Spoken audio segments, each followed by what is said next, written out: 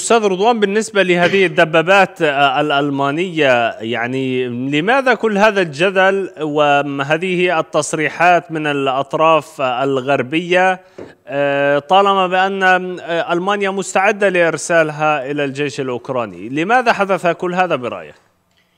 يعني آه، اولا الجدل آه، بالنسبة للدبابات الألمانية معروف أن الدبابات الألمانية دبابات قوية ويعني لها فيها تقنية عالية فيها متطورة أيضا. آه، كان هنالك بعض المشاكل الفنية فيها لكن يعني استحدثوها وجددوها ويعني وألمانيا صناعتها معروفة في العالم على الصعيد العسكري أيضا.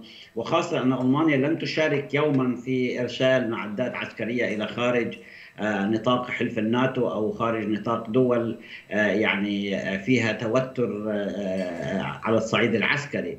هذه للمرة الأولى التي ستقوم بها ألمانيا وهذا مما يدل على أن آه، ألمانيا كانت دائما حذرة في هذا الخصوص.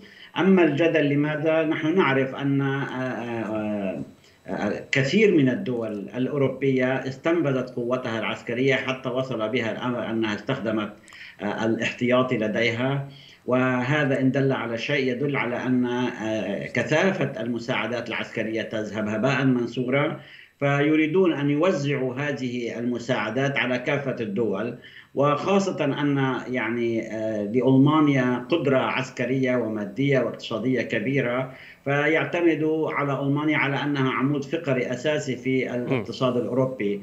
فهم يتحمل ألمانيا تتحمل ما لا يستطيع تحمله الآخرون. ولهذا السبب يسعى آه، تسعى بعض الدول الأوروبية وتسعى الولايات المتحدة الأمريكية أن تدفع بألمانيا إلى الأمام لأنها هي القادرة أكثر من أي دولة أخرى على تحمل هذه التكاليف الحربية.